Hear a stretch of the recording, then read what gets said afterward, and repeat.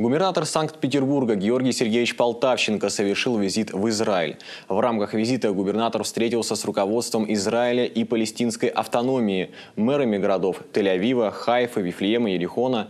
В этом году исполнилось 10 лет партнерских отношений Петербурга и Вифлеема.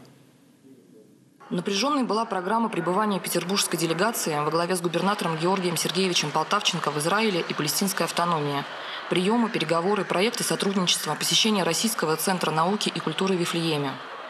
Но петербуржцы поставили еще одну цель – обязательно посетить Горнинский русский женский монастырь, игуменей которого является коренная жительница Петербурга матушка Георгия.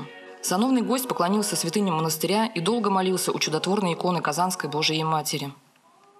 А, но не могли проехать мимо нашей святыни, нашего любимого монастыря, мимо нашей дорогой матушки Георгии. Поэтому вот э, хоть и график плотный, хоть и встреч много, но мне кажется, э, любой русский православный человек, коль скоро ему довелось и посчастливилось побывать на э, святой земле, просто обязан э, приехать сюда, поклониться здесь нашим святыням и вспомнить о всех тех русских православных людях, которые благоукрашали этот монастырь и занимаются этим и сегодня, и молятся здесь за весь мир.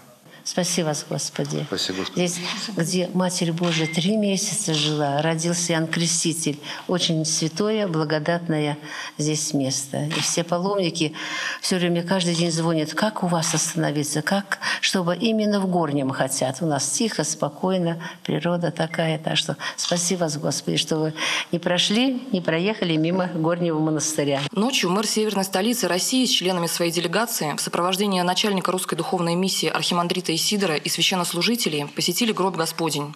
Гостям провели экскурсию по храму и рассказали о святынях. Георгий Сергеевич поклонился гробу Господню Голгофе, приложился к остальным величайшим святыням в храме Воскресения Христова и усердно помолился.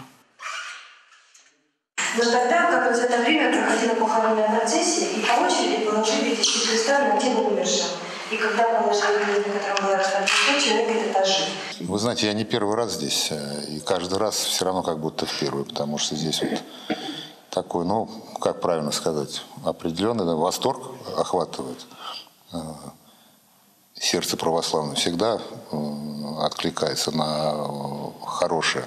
А здесь земля, по которой Господь ходил, земля, где Господь проповедовал, Здесь, ну, буквально действительно каждый камень, каждая песчинка помнит и знает, и, и самое главное говорит о Господе, потому что прошло две тысячи лет, а все равно вот чувствуется, что Он здесь.